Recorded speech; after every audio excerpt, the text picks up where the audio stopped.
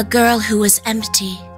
There was an assassin's organization that had existed since the Dark Ages, the Order of the Moonlight Horse. At the young age of 13, the girl was its second most skilled member. The only thing she had were her title, which had been passed down to her, and the designation, Kreuger.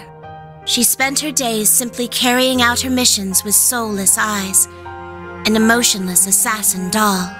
Then one day, the Order met its end. At the hand of Ouroboros. At the time, the Society was still in its early days, and the two groups were in full conflict behind the scenes.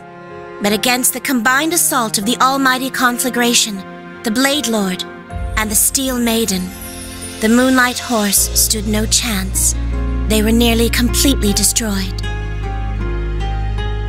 Its members, known as the Thousand Oathbreaker and the Golden Butterfly, became the Fourth Anguis and Enforcer Number 3, respectively, while the Empty Girl was welcomed into the Society as Enforcer Number 9. But even after becoming an Enforcer, the girl's life did not change. She obeyed the requests of the Anguis, performing many missions. She was always free to refuse, but as she knew no other way of life, she simply accepted. But it was through that bleak existence that her bond with the Reinford family came to be. The girl was given a mission by the 6th Anguis to infiltrate a city named Roer in the northeast part of the Empire. The mission required her to meet with a certain person, but a terrible accident occurred. The mission ended in failure. The girl suffered serious injuries and the other person lost their life. That person was Chairman Irina's husband, Lady Alisa's father, Master Franz Reinford.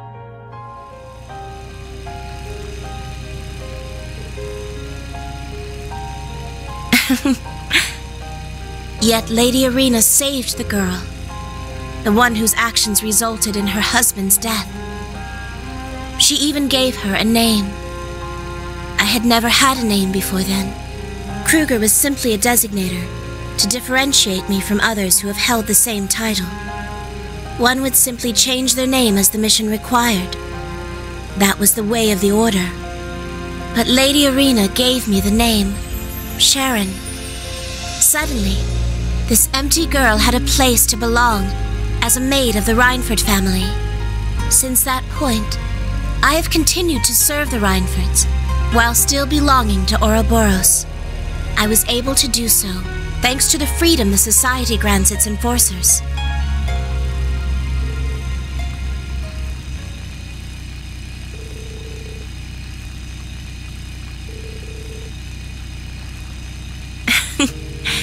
I simply felt this was a good opportunity. Someday, when you feel the need, please tell Lady Alisa. For you see, there is the possibility that I may not be there for her. it is merely a possibility. It is absolutely impossible for my love and devotion for the chairman and my lady to ever leave me. Oh, but of course, if you and Lady Alisa were to become a couple, I would serve you as your own personal maid as well.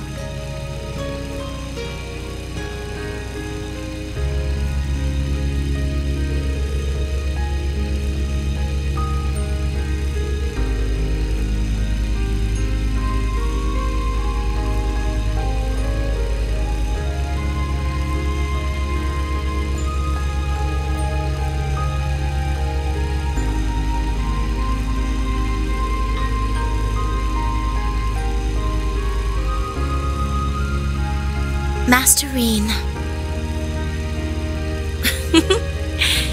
you truly have become dependable. However, for you to say all that to an older woman such as myself is a tad unfair.